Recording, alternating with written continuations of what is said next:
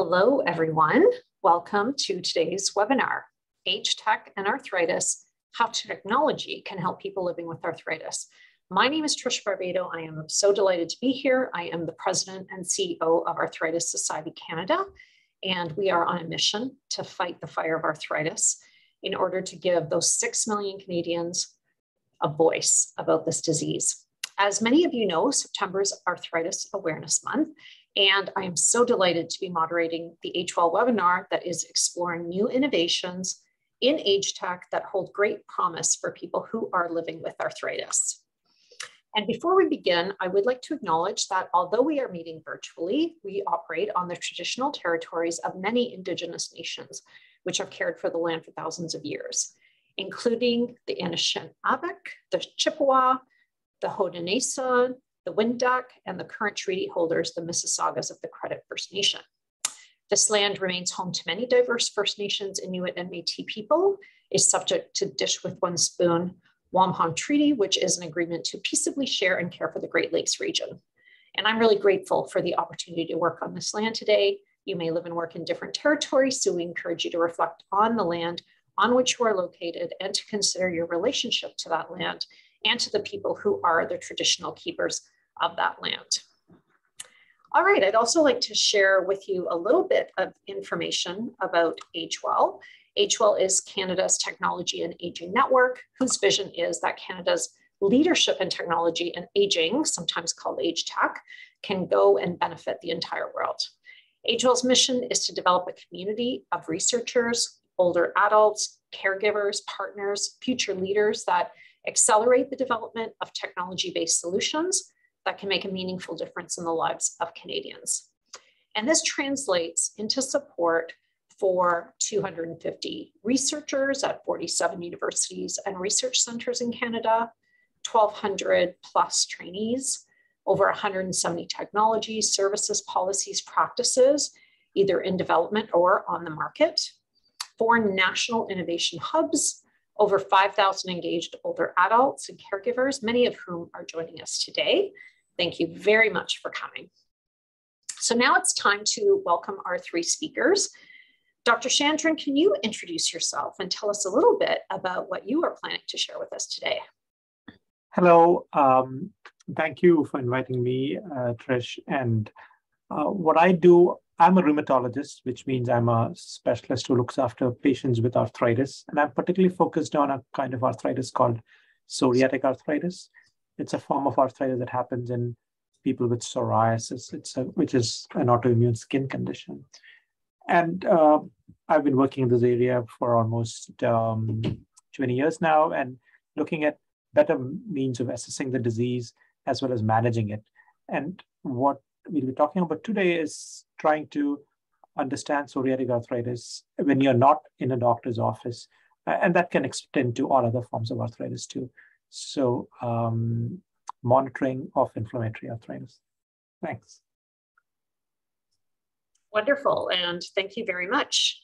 Uh, we also are very pleased to welcome Lianna Genovese at ImaginAble Solutions. Lianna, it's so nice to see you, and what will you be sharing with us today? Hi, everyone. Thank you so much again for having me. Um, so I will be sharing with you my innovation called Guided Hands. It's an assistive device that helps people living with arthritis to write, paint, draw, and access technology. Um, so I'll be taking you a little bit behind our design process and um, just showing you how easy it can be and maybe some people on the call can be innovators and create more solutions uh, to help people with arthritis. That sounds wonderful. And finally, we're very happy to have Burn Evans with us. Burn, tell us a little bit about your connection to Age-Well. Sorry, I forgot to unmute. I'm a native Albertan, went to university in Edmonton, never left. Uh, recently, like six or seven years ago, I was appointed to the Older Adult and Caregiver Advisory Committee, we shorten it to OACAC, of Age-Well. And so we have those bi-monthly board meetings and spin off into other forms of research. In terms of this seminar, I'm one of those that's living with, I would call it a relatively mild case of arthritis, but nonetheless a hindrance to my everyday living.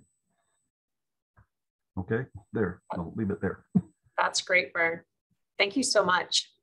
Well, we'll get going in a second and hear what our speakers have to share with us. And there will be a question period at the end. Uh, you can also use the chat function on Zoom to enter your question. If you aren't familiar with the chat function, it's the icon shaped like a speech bubble. If you click on that icon, you will open up a box where you can enter your question or your comment. We'll also be recording today's session and it will be available on YouTube channel if you wanna watch it again or share it with someone else. So let's start with Dr. Vinod. I'd like to begin with you. What have you been working on to help people with arthritis? Again, you uh, muted. I, I have a few slides. Should I share the slides, Trish? Yeah. Please, yeah, that would be great. Uh, here you go.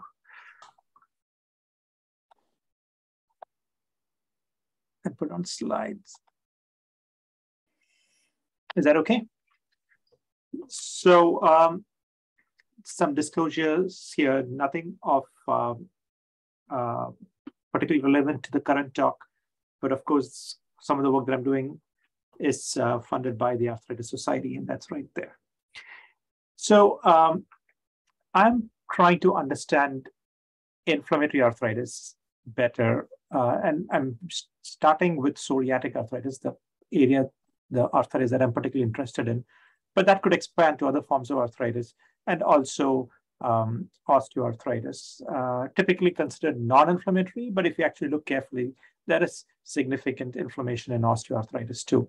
So, uh, so what happens when we monitor inflammatory arthritis or when you manage inflammatory arthritis is we need to um, carefully monitor the state of disease activity. Now, disease activity is a concept where you know there is what we believe a reversible component to it, which appropriately managed leads to better long-term outcomes. And that is a dynamic status where you have periods where things can go bad and, and periods when things improve uh, by maybe due to medications or other non-pharmacological means. And so monitoring that uh, would be important because in the long term, the longer the disease is active, it's more likely to cause more joint damage and other comorbidities, including cardiovascular disease. So when you treat inflammatory arthritis in particular, what we train to do, we try to reach a state of low disease activity or uh, ideally remission, which may not be always possible, but at least a low disease activity state. So that's the goal. And what happens currently is that patients come to clinic and a physician evaluates him or her or they, and uh, the the ultimately what we do is we the physician evaluates the patient has a, uh, their own um, uh, concept of how active the disease is and the blood work is also done. And all of this gives us different inputs and ultimately we come to a shared decision whether the disease is active or not and what we can do about it. But all this happens in the clinic which is a problem as you know because in a year you might see your physician maybe three times four times uh, and uh, not that often, but you're living your life with the arthritis every day. So that's a bit, bit disconnect between what's happening in the clinic and what's actually happening. And the physicians are who are recommending treatment is biased by what's they are seeing in the clinic. And so what we'd like to do is to have a better uh, assessment of the arthritis on a daily basis. And um, uh, this also uh, reflects on to the what's happening with virtual care when you're actually seeing a physician more often, probably, but it's on a camera and you're not actually being assessed. Um, and so there is a disconnect there too. So we like to make these things better. And um, uh, currently what happens uh, in inflammatory arthritis is we have this periods of flare, which we don't understand when, it, when we don't see uh, the active joint in the clinic. You know, you, in your own practice and in your with your interactions with your own physicians, you'll know a lot of my patients tell me, "Oh, I was active last week, but when I come to see you, things are better. So I don't know what to say, but it was bad last week. And when I don't see anything, uh, or, or, last month for that matter, I, I'm unsure what to do with that information. So I'd like to get a more um, a more handle on what's actually going on, and also for the patient, uh, monitoring this carefully would also empower them, right? So it empowers the physician and empowers the person with the arthritis. And so, uh, so that's one aspect about the disease in general. The other thing is about treatment. So when you start a treatment, nowadays we wait for a period of time, which is usually three months, maybe sometimes six months to see if the drug is working or not. Uh, probably we don't need to wait that long if we can actually monitor the status more frequently. So that's what we're trying to solve with this problem for this with this solution. So uh, we're trying to monitor the arthritis remotely. So in my mind, when, a, when there is inflammatory arthritis, three things could be monitored. One, of course, most important is the patient's symptoms. How much pain, how much fatigue, which are most uh, common symptoms patients with inflammatory arthritis have. The other thing is physical activity. When you're when a disease is active, you expect that you're less active uh, because of more pain and, and stiffness and inflammation. Um, so that could be track, tracked um, um, carefully with current technology. And then we could also monitor the inflammatory proteins in your blood, which may be going up and down uh, when these things are happening. So what we're trying to do is uh, first, you know, these are all um, uh, hypothesis, we'd like to actually see that what we think is happening is actually happening. So uh, we'd like to collect this information more frequently. And of course, when you get all this data, we'll have to integrate it and then actually make sense of it, interpret it. And that's what we're trying to do. So we don't have a product as yet, but what we're hoping to do with these, a couple of studies that I'm mentioning over here, one is to look at the so-called flares. So uh, patients in my clinic, I explained to them what we uh, the, the, concept that I just mentioned, asked them to, um, and I, I, evaluate them. Then when they're at home, every week, they, uh, you know, use the dry blood spot. There's a small spot of blood that you can put on a, a blotting paper and store it at your home and then send it to me once you have collected for a month, uh, you know, for, or uh, these samples can be kept at home in your fridge without a problem.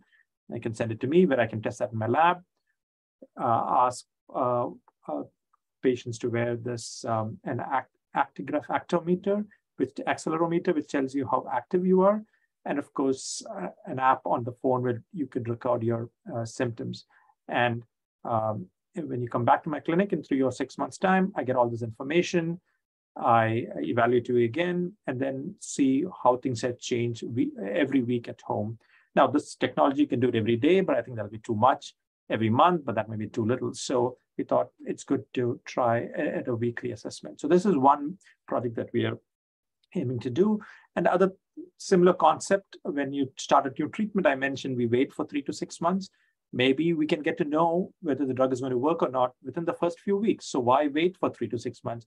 And when you wait, you know, there is if the drug is not going to work, there's going to be more damage, uh, more risk of side effects because you're taking a drug um, which uh, is not helping you, right? So we can, uh, with collecting the same kind of information on physical activities, symptoms, and your blood markers, uh, we can hope we hope to predict whether the early changes tell us in three to six months whether you're going to work or not, and uh, the drug is going to work or not, and so that in the future we could um, not wait that long and monitor you more closely uh, and make the decision way before and switch drug if required way before. So these are the two proof of concepts that we're working on. If that works, we have enough, we'll have enough data to go forward in a in a larger study and prove that it is actually going to help patients. I, I, I think it would, but of course in science you've got to prove that.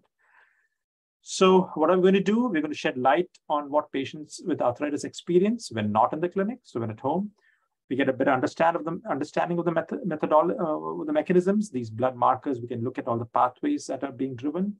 We can help improve management of these symptoms. For example, if we can say, well, the blood changes are happening now, and this will predict a flare in a few weeks, then we can do something now to prevent that flare. And so overall quality of life improves and we prevent damage. Uh, and there's better communication, more empowerment of both the physician and the patient because you're seeing this data that tells you what's going on. And, and of course, with remote monitoring, we're really hoping to reach populations that live far away that I can only see once a year. Maybe I can uh, have a better understanding what's going on by doing this um, uh, more uh, precise assessment. With that, I'll stop. Thank you. My goodness, that is very ambitious. I love it. That's great. And I know that um, all of our patients with autoimmune diseases would be really happy to understand their flare ups better and what can prevent them and how to manage them, um, what works, and that kind of thing. So I think that's terrific. And we're very proud to be a supporter of that. And uh, welcome to Lianna, who I have known for quite a while. And you have a wonderful device that promises to um, be really helpful to people living with arthritis. And I wonder if you could give us more intel on that. Absolutely. So I'll share my screen as well. Okay, awesome. So, hi everyone again. My name is Lianna. I'm the CEO and founder of ImaginAble Solutions. So, we create assistive technology to improve the quality of life for people living with limited hand mobility. So I'd like to first introduce you to my nonna, Ina. So Ina lives with severe rheumatoid arthritis, and she, for mostly her entire life, she always worked with her hands. She worked in the garden. She was a talented seamstress, and now she you know, those are a picture of her hands, and she really does fight the fire of arthritis, and it's very difficult for her to use her hands today and you know she experiences limited control of her hand and arm or fingers and this lead this also unfortunately leads to a loss of confidence independence and self-expression as well for her so I've created Guided Hands. It's an assistive device that enables people living with limited hand mobility to write, paint, draw, and access technology through using touchscreen devices and keyboards. So Guided Hands uses a unique sliding system that promotes controlled and guided hand movements as the user holds a handpiece tailored to their level of hand impairment. So here's a photo of Ina using guided hands to write a graduation card for her granddaughter. She also does crossword puzzles, paints, and uses technology to stay connected with her grandchildren, but gets carried away with the emojis. Um, so guided hands stimulates Ina's brain and allows her to express herself, which has reignited her confidence, creativity, and independence. As well, using guided hands also helps her maintain her sensory and cognitive skills. So limited hand mobility is a global problem. Now, arthritis is, is just one of these conditions. It's the biggest, um, but there's so many other people in Canada and the US who live with a medical condition or injury that affects their hand mobility, such as cerebral palsy, ALS. And Guided Hands was actually, I was actually inspired to create Guided Hands for a woman living with cerebral palsy. So my background is in biomedical and mechanical engineering, and I actually created Guided Hands as a school project. Um, so Alyssa is a woman who lives with cerebral palsy, and she mentioned to me that uh, she experienced spasticity in her hand, hand and arm weakness, and very, a lot of um, pain using her fingers and grasping onto objects. So she mentioned that she had difficulties with holding onto writing utensils, cooking utensils, doing the buttons on her shirt. But the one thing that really stood out to me was that she was a talented painter.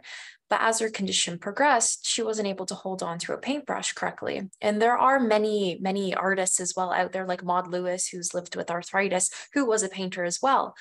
Um, but I wanted to create Alyssa something that gave her back her passion for painting.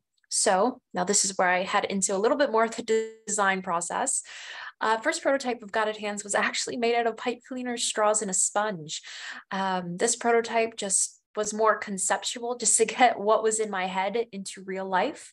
Uh, by the second prototype, I created Guided Hands using a styrofoam ball as the handpiece, a paint roller as the wrist rest, um, and a lot of this is human centered design. So having Alyssa try out all of these silly prototypes was very, very important to make sure that we're meeting the needs of our customer or patient.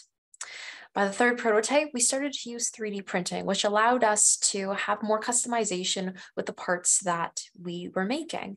And this is just the current version of Guided Hands. So through each prototype, we've definitely learned um, from our patients through testing people with arthritis and Alyssa all the different needs and how can we create towards fulfilling those needs. So the reason why I started my company was because of a little girl also living with limited hand mobility. And uh, since she was a little girl, I brought painting supplies with me, and she had the widest smile spread across her face. She turned to her mom and said, Mom, I want one. And then the mom turned to me and asked, How much is it? And at that point, the thought of selling this had never crossed my mind.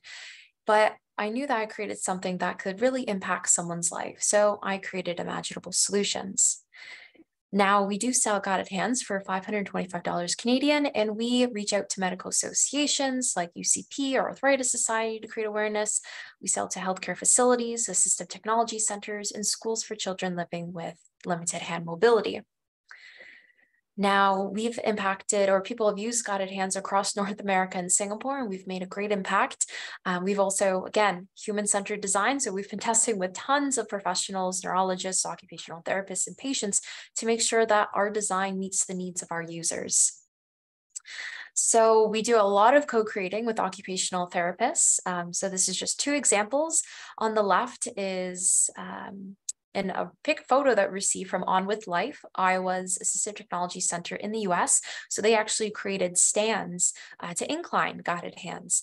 Uh, they say that it feels more comfortable when it's on an incline. And on the right, someone who has more hand uh, and forearm or shoulder weakness, they've actually put a splint on the device so that they can further support along the length of their arm. And this is really helpful for people um, who don't have a lot of muscle strength for older adults as well. Um, so we definitely learn with our occupational therapists, and we've actually co-created uh, a worksheet package to help people become familiar with using guided hands. So um, just really having people keep up their sensory and cognitive skills through uh, fun and engaging worksheets as well. This is just our team of engineers and advisors. And one of our key advisors on the bottom right is Ron Bellino. He's actually from the Age Well community, and he gives us awesome insight into aging and caregivers and, and how we can, again, just really make sure that our product is meeting the needs of older adults who live with arthritis, other medical conditions, and even children who live with juvenile arthritis too. And together, we've transformed Guided Hands into an international award winning product. Uh, we did win the Arthritis Society uh, Canada's People's Choice Award. Uh, Trish actually gave me the award on stage, which was awesome. Uh, we won the James Dyson Engineering Award, the guy who invented the vacuum cleaner. And we are proud to say that we came second place at the Age Well National Impact Challenge. So uh, actually, we are also an AgeWell startup affiliate. So we work with AgeWell all the time and they're just so, so helpful. Um, and again, it is Arthritis Awareness Month, just like what Trish had mentioned. Um, so we are offering 10% off Guided Hands, um, just the discount codes there. And you don't have to take a picture of this or anything because it's also on our website um, so that everyone knows. And again, we are a proud recipient of the Arthritis Society Canada's People's Choice Award. And together, we're just working towards helping improve the quality of life for people of all ages who live with limited hand mobility and want to just get back out into expressing themselves and have more confidence as well. Thank you. That's great, Lianna. It's uh, definitely been really wonderful for me to watch you and uh, kind of see the progression over the years of this idea that you had and then turning it into a product and now turning it into a company. So it's really fantastic and I really um, applaud you. So, Burn, what are your thoughts as someone who is a patient advocate and consumer? What are your thoughts on what you've heard so far? kind of a wow. I, I don't know if you can see them, but you can see some pretty gnarly hands there. That's a relatively recent thing. So let me back up a little. my first notice of some arthritis in my body was quite a while ago. And it was in what I call my lower right love handle. And I hadn't paid attention, but my wife started to point out that she looked like she thought that I was walking dog trotting slightly sideways. So I went to my physician. He suggested that I go to see a physiotherapist who is an expert in IMS, which is some kind of, it's a deep needle intramuscular stimulation, they called it. And I will never forget standing there in just my shorts with the physiotherapist behind me and saying, well, I can see that you have damage in XYZ, you know, without giving you the technical stuff that I don't remember. And I said, how do you know that? He said, well, you've got some symptoms I can tell without even touching you. He did IMS on the back and it helped for quite a while. But in the meantime, I also developed, and I don't know, it is related to squeezing of the pads between the vertebrae affecting nerves. I have quite a problem with what's called the iliotibial bands, or for short English, the IT band, and it's the muscle that connects the hip to the knee on the outside. Some days they're fine. I had started a walking program with my exercise club, but there are other days, and I, you know, I'd go on five to seven K walks. But I discovered other days I went to five to 10 meter walks because of these doggone pains in the legs. And there was enough there that my doctor thought perhaps I was showing arthritis in my hips and or knees. And so he sent me for x-rays. And fortunately for me, it showed very little of those joint damages. So the problem is not arthritis in my knees. But the arthritis certainly shows up in my back. Um, part of it, I guess, is the way I sleep. I'm immobile when I sleep. So when I wake up, I'm stiff. And I find bending over kind of a laborious process. I bend over very slowly, pick something up, and then straighten back up slowly. And otherwise, I trigger a vertigo, and probably the vertigo is an aftermath. I had a very mild stroke six years ago, but it did affect my balance. It hit the bottom of my brain out here where the balance center is. So when I combine that with the ongoing arthritis, I have some real limitations in what I can do. I can't play volleyball or baseball anymore because I'm slow. I can play golf, you know, the ball's stationary and I can swing at it. But again, the hands are not very good at holding onto a golf club. I've had to oversize my grips in a couple of cases, but at least I can get outdoors and do that. When I was a young man, I was very involved in sports and athletics and outdoors and hiking and camping and fishing. And I was coaching athletic teams by the time I was 14. I've just been involved out there, and this has really slowed me down. Um, what do you think is important as we have uh, entrepreneurs and innovators thinking about that people centricity and making sure that they have human centered design and include um, that aspect of it? Like, what are your thoughts about the design thinking component of innovation? When Lianna, when Lianna mentioned human centered design, I kind of went, wow, you know, good for you. Back when I was in graduate school, it was one of the things we were studying in human engineering was, you know, trying to get the human component into the design of manufactured processes rather than just some guy deciding that this widget should be built this way. So I think she's done a marvelous job in sort of starting with a primitive version and getting to a much more sophisticated version. And I suspect, Lianna, I, I may need such a beast down the road because of what's happening with my hands. I also notice for Dr. Vinod's information. I get these flares occasionally in my knuckles. All of a sudden, this knuckle on my fourth hand is, is hurting. I can't quite tell why, but it's hurting. Then it goes away after a day or two. I sometimes rub it with a, an anointment. And I just discovered in the last week or so that I get some kind of a pain in my foot, which is probably also arthritic and you know that may get worse as goes on. I can't walk a golf course anymore. I have to ride a cart and I can get up and you know go over to my ball. But it certainly has limited the things that I can do. I'm a gardener. Mm-hmm. I spend six or eight hours in the garden. Now, if I'm out there for two hours on my hands and knees, I'm done. I'm pooped. I have to go inside have a cup of tea and sort of that's it for the day.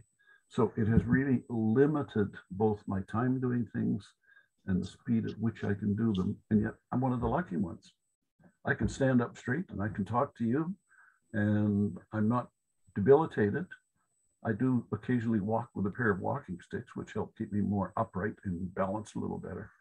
But uh, so, how do I sort of react to what you had posed to me? Yes, I'm living with arthritis, and it certainly influences my day to day. But as I said, I'm lucky it hasn't completely knocked me off my feet. I don't know. Does that sort of tell you where? Yeah, no, that's great. That's great. And and sort of picking up on that, Dr. Chandran, and I'll just turn this to you. What are some of the practical things that you tell your patients in terms of you know managing a chronic disease? Are there some tips and things that you repeat to almost every patient that our audience might find beneficial? And you're just muted. uh, so yeah, uh, the um, one thing is understanding a disease, right? So what are the triggers that that uh, uh, cause things to get a little off balance.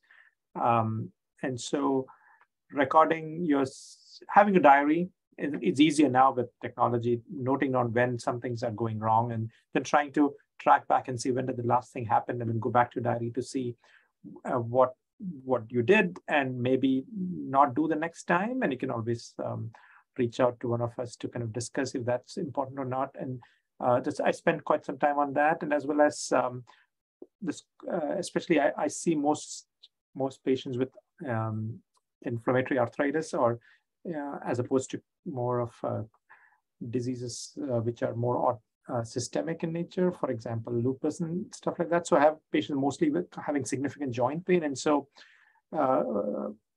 in all these diseases, it's important to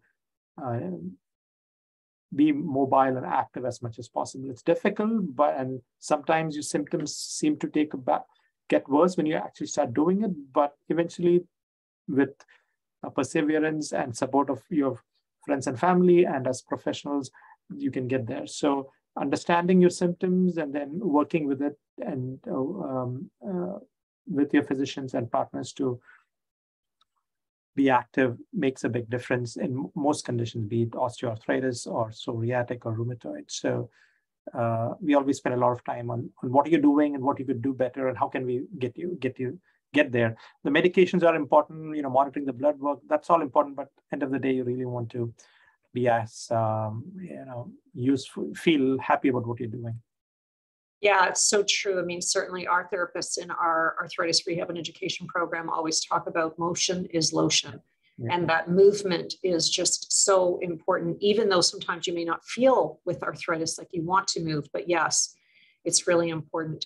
And I just wanted to remind our audience that we would love to see your questions. They can just go in your chat button, which is just on the bottom of your Zoom. So feel free to throw some questions out there and I will uh, be monitoring that and be asking. But um, in the meantime, maybe I'll turn uh, Burn. Yes, you would like to add something, please. Okay. Well, I also wanted to point out, again, probably for both of your other panelists, I, I've noticed a tremendous loss of strength, especially in my hands. I mean, I was very strong in the hands. I grew up on a ranch, you know, pitching bales. I was milking cows. I was very, very strong in the hands.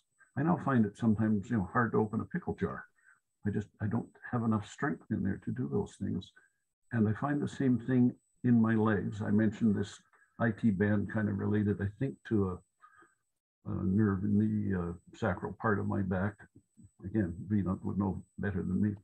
But uh, when they're hurting, I'm really limited in terms of how far I can walk, but I also find that going upstairs, I'm very careful and I hold on to the wall or the railing to keep my balance. And I go very slowly, but I have certainly lost a lot of strength in the uh, upper muscles of my legs. Uh, I guess you call them the, the, quads. That I think is related again to this arthritis involvement. It, it may not be, but I'm sort of throwing that out. So that's a real limitation for me in terms of what exercise I can do. I, you know, the motion is lotion idea. I, I can only do less in a given amount of time and I can't do it for as long as I used to. I, I try, as I mentioned, I do my exercise class at least twice a week, golf and garden and stuff, but uh, it's certainly not what it used to be five years ago. That's mm-hmm. all. Well, it's great you're still moving. That's uh, really so important in keeping your body as strong as possible. Um, that's great. So, Lianna, I wondered in your device, what do you find um, in terms of people learning how to use it and feeling comfortable using it? Does it take a while for people to get used to it? How, how does, yeah, tell us a little bit more about the journey of someone buying it and then using it.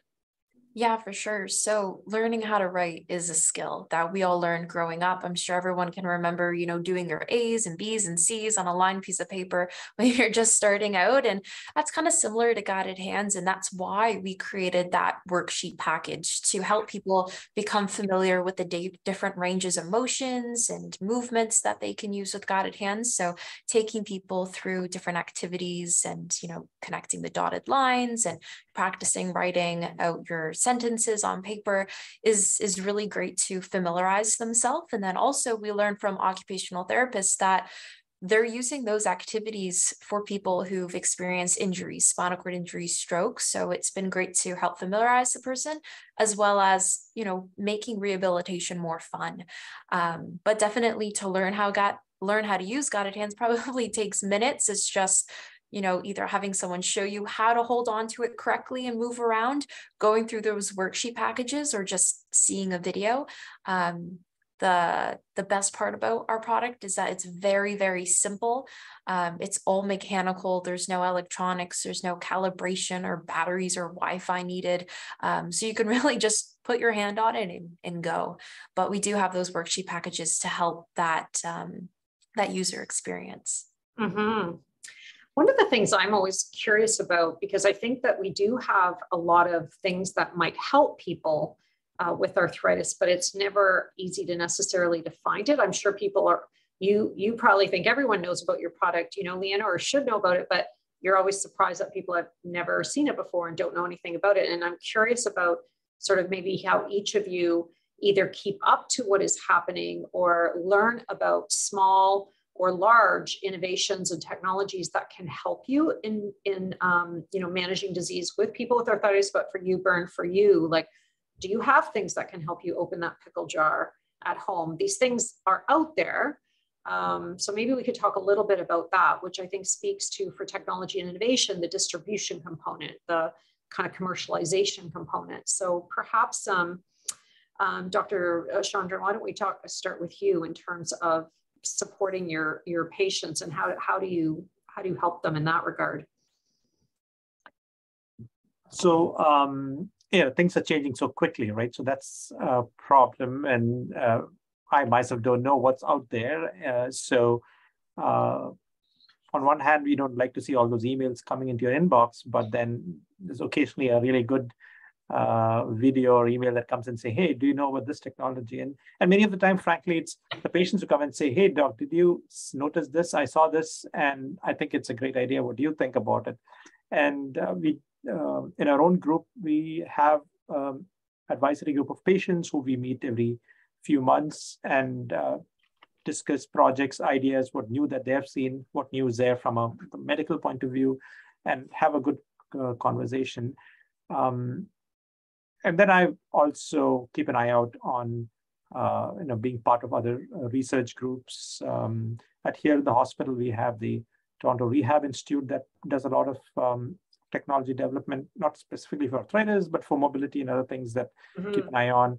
Um, talk to engineers, um, uh, participate in stuff like the Creative Destruction Lab, where they uh, look at new entrepreneurs and try to develop their companies and be involved with that. So multiple sources of information, uh, but I think most of the time I get ideas about new stuff right from the patients and having the time to discuss um, within the clinic, which is always a challenge, but outside when we have uh, discussions and uh, with them. And of course, um, uh, physiotherapists, occupational therapists, and uh, other agencies, including the Arthritis Society, that really uh, supports all this that's that's going on. So it's multiple sources, very hard to pinpoint, and things are changing so rapidly that uh, you really have to be on your toes to keep up with it. Thank you so much. How about you, Lianna? I think AgeWell does an incredible job of highlighting innovation within the age tech space. Um, I always, you know, I'm I connect with the entrepreneurs whenever I see a really cool innovation and I, you know, network with them. So I feel like they do an amazing job of you know posting the new innovation that's out there. As well i'm subscribed to the arthritis society canada newsletter and i feel like um, there's always such great um, you know different things available as well that's that's new and upcoming and uh, and I think for me the the ways that um, you know we always ask our customers how how are you learning about assistive technology or you know the newest medical innovations? Um, it's it's a lot of google searching. Um, google has definitely been my best friend in entrepreneurship um, but i think just in terms of finding what's out there and just staying connected with the news is so important to see what current and new advancements are out there for arthritis and other conditions. Um, but yeah.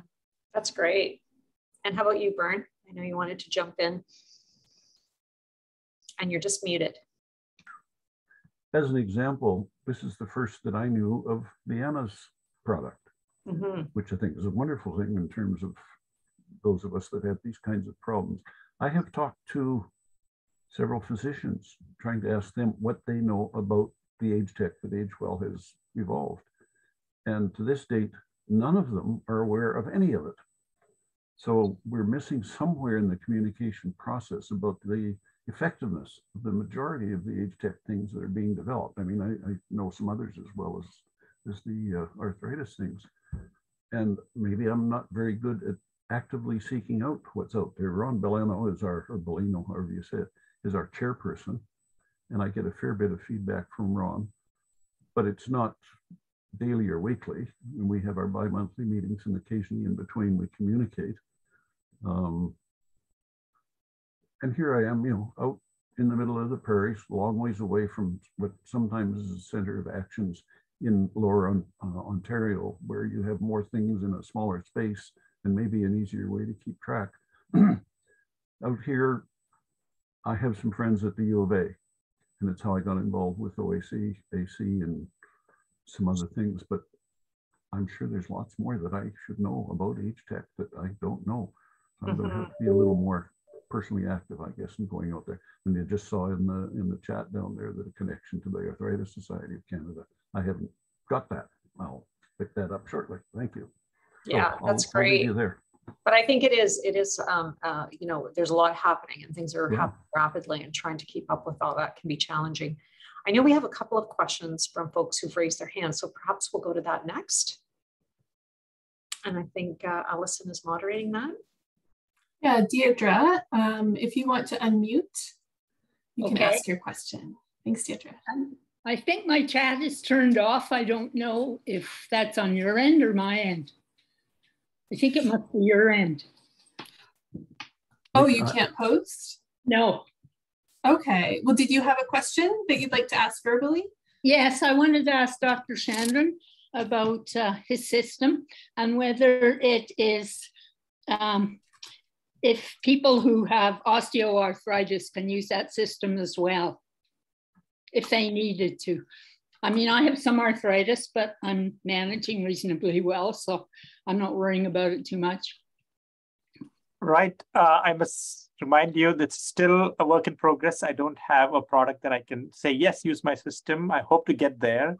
Uh, and so what at the moment we are working, you're testing it on uh, psoriatic arthritis patients uh, because we'd like to get um, you know a good signal um, from the blood markers also. But I don't see a reason why we cannot use that uh, for different diseases. The the model for looking at the data might be different.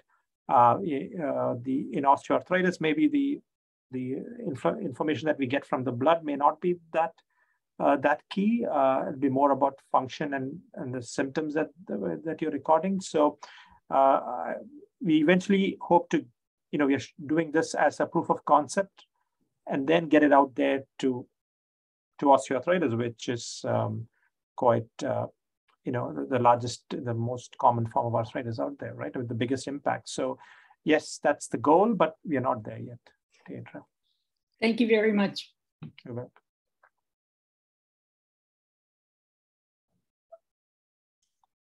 Allison, do we have another person live that wanted to speak?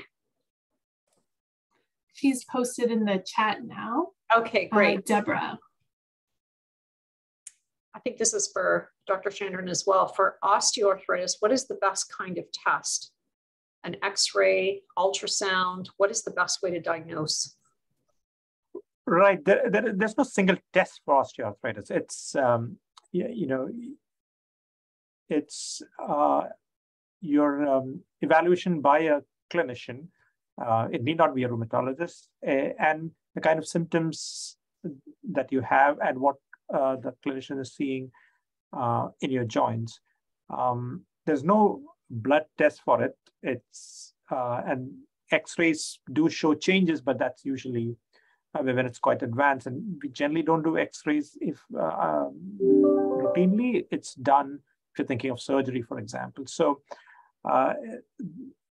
there's not you know a test you it's a the, the diagnosis is made by looking at your symptoms uh, which joints are affected how it is affected and the the impact that has ha- that that it has on you so um, i guess not a straightforward answer but it's a physician patient thing, a clinician-patient uh, interaction that gives you the diagnosis of osteoarthritis.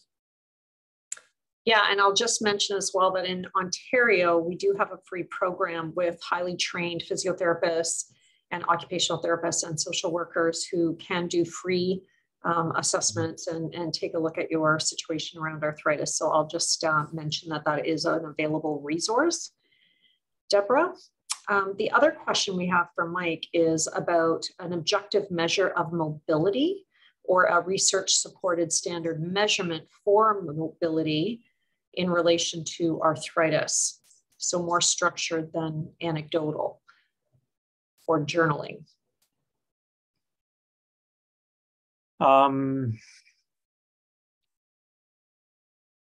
I'm not an expert on mobility. I don't know if we can um, really um, compare between folks. My uh, focus is on looking at, uh, you know, looking at your own data over time to see where you are uh, and uh, trying to, um, with the data that we collect, try to figure out what the, the best it is. And especially with treatment, you're trying to bring uh, improved mobility and function, uh, but not to a normal, or what should I say, uh, an average of a group of people, but to where you would like to come to, because we're collecting data in a longitudinal fashion, um, both when things are good and when both when things are not good, right? So um, that that measurement of um, I think it's work in progress. I think with the newer technologies where you can actually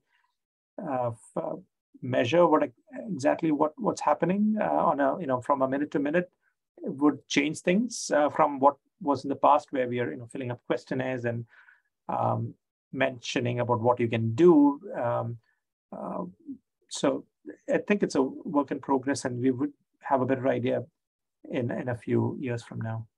Yeah, I'll just mention that uh, one of the other winners from the Arthritis Ideator Awards was a company called Knee KG. So you can think about it as a live diagnostic, like a heart EKG. It's for your knees. And so the device is strapped on, the person is walking on a treadmill, and it provides very deep real time data about what is happening in the knee and around their mobility. And the objective would be that that could then be used to better determine whether the person is, in fact, a good candidate for a, a knee replacement or not, if they are a good candidate for some other um, treatment option. And again, would provide that I think what you're after, Mike, is a better understanding of the mobility level that's measured very objectively. So I, I think you're right. I think that these technologies are coming, but they're not perhaps as far as we would like them to be, but they're definitely coming. I think the same is true around gait. Uh, we've seen some technology as well with our Ideator awards around that um, kind of gait measurement and, and as a proxy for mobility. So I think that this is all all in the works in many different ways. Burn, yes, please. I just also responding to Mike. I think there's a real need for before and after measures of mobility of knees, legs, etc., etc. I have a friend who had her knee operated on because of this whole arthritic problem, and they didn't do a before versus after. She had quite a hitch in her get along before the surgery. She still has it. There seems to be some pain, but I don't know how you would compare that. So I'm just throwing out to Mike that if you're talking to physicians or exercise physiologists, there should be a before and after, especially if surgery is involved. That's all. Mm-hmm. That's great. Dr. Chandran, I think this one is for you. How active should a patient be, especially if they are aged? Well, my answer would be as active as possible, given the limitations. And the, the more you can, more active you are, you're more likely to, you know, not just the joints, your own cardiovascular, other health, um, all that's going to be important. And of, the question is, is there a ceiling? There was a there's a study uh, recently published. I think people who watch the CBC or listen to the CBC radio, it was on Quirks and Quarks uh, the last week. It's about the 10,000 steps, right? So uh, where did the number come from, and is it really a number? So that you know, I guess I, it was news to me when the researcher who worked on it, um, uh, uh, using the data from the um, UK Biobank, where they had collected, I think it was 80,000 folks who had their um, you know, um, mobility device, the accelerometer, and they could count the steps. And the question was, was 10,000 steps a thing or not? So because the Japanese company that came up with this 10,000 steps was, it was a marketing thing. It was nothing, no science. They just said 10,000 steps. It's a good number. Everybody can remember. Try to get 10,000 steps. So they looked at the, the um, this in this UK biobank, um, which, uh, you know, that's the power of, uh, I'm digressing a little bit, the power of having this database with all the genomic and other information and more additional information linked to hard clinical outcomes. And, uh, and it's publicly available, publicly in the sense a researcher could request a UK biobank, please give me that data, I would analyze it. And you got to pay some money to get that data, but then you can do such powerful studies on large number of patients. Anyway, so these guys use that data to look at 10,000 steps. And guess what? Yes, 10,000 steps is a, uh, is a good target. And the question was, what about going more than that? we assumed the more the better, but it seems that the additional benefit was not really there. So 10,000 was a good number.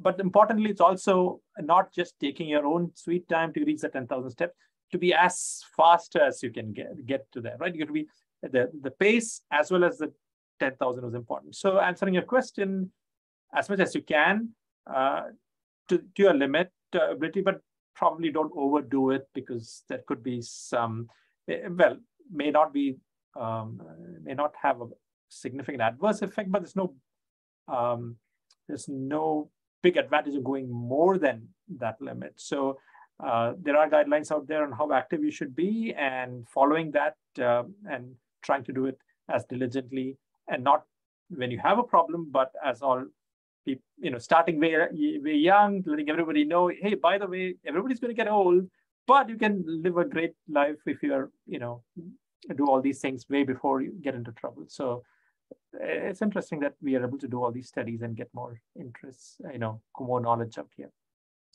Yeah, I agree. And we certainly also support that very much at Arthritis Society Canada and just finding what you can do. Can you swim? Can you move around in a pool? Can you do chair aerobics? Can you, you know, there's there's just like what can you do and uh, not let arthritis stop you from moving and from from keeping active it has so many benefits as well mentally doesn't it? Not just uh, physically. Yeah.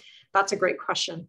Um, one of the questions that i think we could also touch on is one in the questions around what are some of the problems that we need solutions for? So what are the some of the problems that people with arthritis have that it would be wonderful to have a solution for? And in some ways i think even in the questions we saw something around that more consistent measurement of mobility or of progression that could be true for so many things, including pain and uh, you know mobility. But are there any others that come to mind for any of our panelists around what would be great to solve?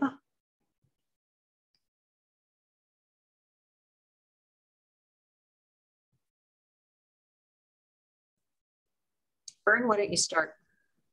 Probably futuristic on my my hand, but when I see surgeries that have gone from, you know, opening up the stomach to do a appendectomy to laparoscopic surgeries for gallbladders and other things, and then I see pictures of people working on microsurgeries, you know, their hand thing here is working on a little tiny brain surgery thing over there. And I'm wondering surgically, and I'll throw this probably back to Vinod, but is it possible in the future that we would see reshaping the arthritic joints that are causing all the problems and or reinsertion of the, uh, I forget the term, but the pads in between, the, the tissue that sometimes tears when we're exercising.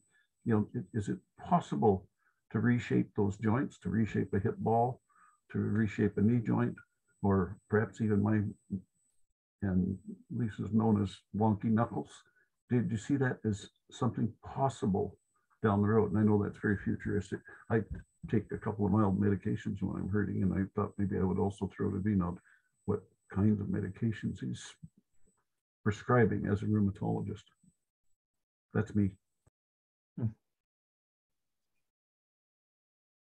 I respond to it. Yeah, medications, uh, it's a work in progress. Now, for the inflammatory arthritis, there's been huge progress in um, uh, because they are mostly immune mediated. So there are these immunosuppressives that prevent damage, especially if you're diagnosed early. but that's a small percentage of the arthritic you know world, right? The biggest problem is osteoarthritis, where we have singularly lack uh, a so-called disease-modifying drug, mm-hmm. and and it's been a big challenge. Um, and more recently, there have been trials trying to develop these uh, so-called disease-modifying drugs, but it's the uh, the it's the heterogeneity of the disease. So osteoarthritis is not just one disease. There's many reasons for it, and so by understanding the disease better, uh, is it a cartilage problem? Is it a bone problem? Is it a synovium problem? And then targeting that um, um, mechanism early could prevent um, the osteoarthritis from progressing. So uh, that's a work in progress. Um, we don't have any treatments as yet. The uh, the other you said mentioned, you know, growing back stuff. So regenerative medicine is again um, uh, a lot of focus is being uh, put on that. Should we, you know, could we regrow the cartilage or modify the bone to uh, to get it back to the original? Uh, again, a lot of uh, work is ongoing, but there's nothing ready yet to kind of say yes, this is a treatment. Uh, more recently, um, there's also a lot of push for so-called biological therapy, meaning uh, you know platelet-rich plasma and other uh, injections into the joints. Uh, I think jury is still out. My reading of the literature has not shown a clear benefit, but when I talk to the surgeons, again, it depends on choosing the right patient, etc. Right, so uh, we'll probably get more um, uh, as better studies are done and more data is accumulated. We know who to give what and who requires a surgery right away, and who we can um, we don't have you know we can wait for longer and do some of the other methods to improve function and reduce pain. So uh, especially in osteoarthritis, uh, lots of unmet needs. Um, getting the diagnosis right, getting the type of osteoarthritis, uh, treating depending on what type it is, and and thankfully there's a lot of interest in and many researchers are working on it, and hopefully we'll have solutions soon. That's great, and um, I think we're just at almost at time here. Really appreciate all of our panelists and thank you for everyone who submitted a chat or a question. And before we go, I don't want to forget to ask you all to mark your calendars for the AgeWell Annual Conference, which is coming up on October 18th to 20th, and that will be in Regina. This event is for anyone with an interest in technology and aging. It'll be showcasing research and innovation from across the country, connecting AgeWell partners, researchers, stakeholders, members of the public. So that will be great. And I am also very excited to announce our second annual Arthritis Ideator Awards, which will be launching next month in October.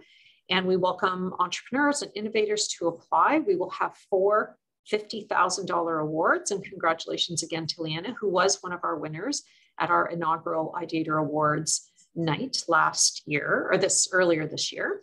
More details can be found on our website at arthritis.ca. So that is all for today. If you'd like to watch this or share with a friend, we do have a recording of the webinar and that will be posted on the YouTube channel in about a week. I just want to thank everyone so much for being here and really appreciate uh, your time and your energy. And we will say goodbye. Bye bye. Thank you.